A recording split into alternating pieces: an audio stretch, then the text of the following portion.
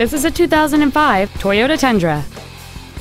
It has a 4.7 liter, 8 cylinder engine and a 5 speed automatic transmission.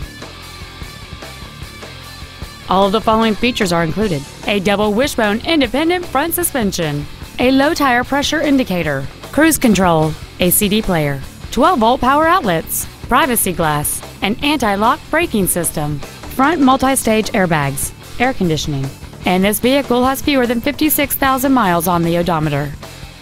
Contact us today to arrange your test drive.